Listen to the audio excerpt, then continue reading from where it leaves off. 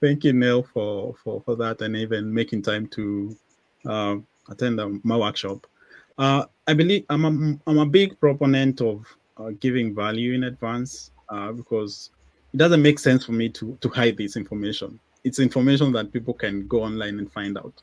Uh, but they come to us because they trust us. They know that I'm going to give them the best information instead of you spending the whole uh, one day or two days trying to find out this. Come to Alex. Within 30 minutes, you have all the information that you need to know about AI. And that's what uh, I am more for. I'm more of giving value. I'm more of giving the resources that I've seen work. Because again, with AI, there are thousand and one tools, and there are thousand and one people online telling you this is working. Uh, a lot of clickbait happening, but once you click telling you have this prompt, what you go find is is a lot of things that you cannot use. You know, people are just after people's emails and all that. So I, I'm not a big fan of that.